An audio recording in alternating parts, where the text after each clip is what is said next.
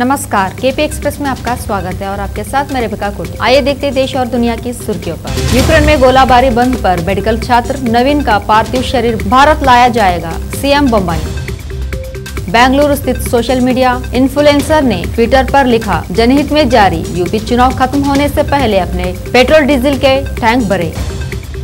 नोटबंदी, जीएसटी से कर्नाटक को तीन लाख करोड़ रुपए का नुकसान सिद्धरामैया बेंगलुरु में ताज़ा कोविड 19 मामले सोमवार को 126 दिनों में पहली बार 100 से कम हो गए।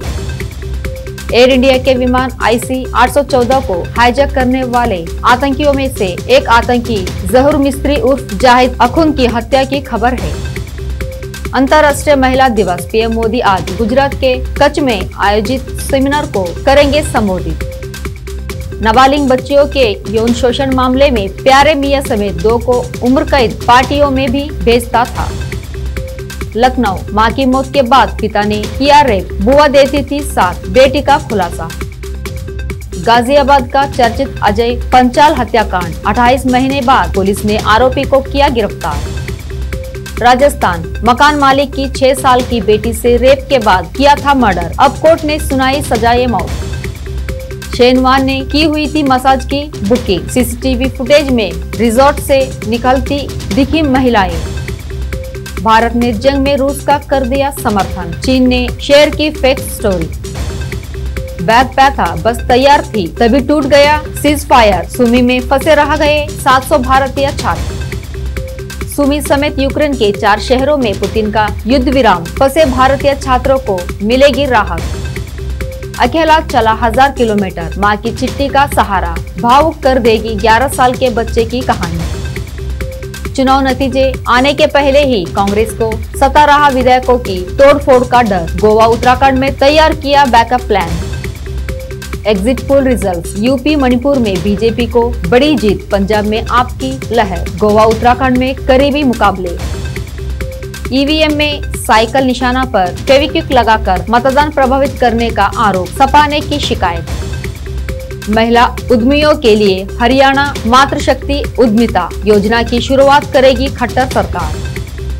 भारतीयों सहित यूक्रेन से सभी निर्देश नागरिकों को सुरक्षित निकाला जाए, यूएन में भारत।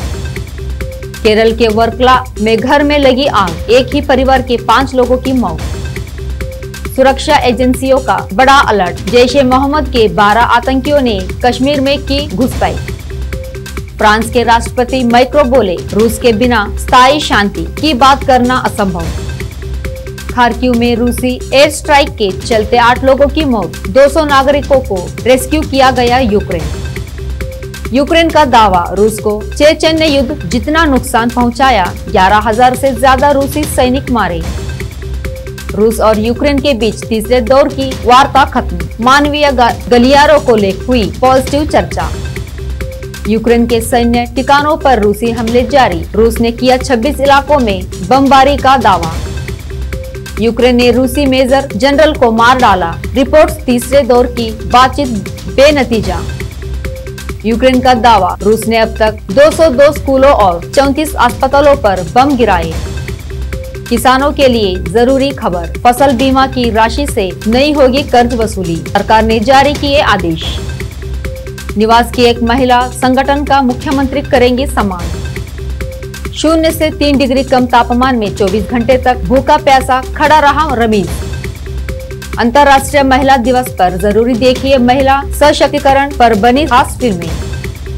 एक हादसे ने बदल दी थी शाहरुख की बहन की किस्मत। आज गुमनामी में जीती है ज़िंदगी। माधुरी दीक्षित को एक फ़िल्म में दिग्वंत अभिनेता विनोद खन्ना के साथ किसिंग सीन दिया था, जिसके लिए उन्हें आज भी पछतावा होता है। इस सीन की वजह से एक्टर्स को कंट्रोवर्सी का शिकार भी होना पड़ता था। केपी एक्सप्रेस में आज इतना ही। देखते रहे केपी न्यूज़ ताज़ा खबरों के लिए। धन्यवाद।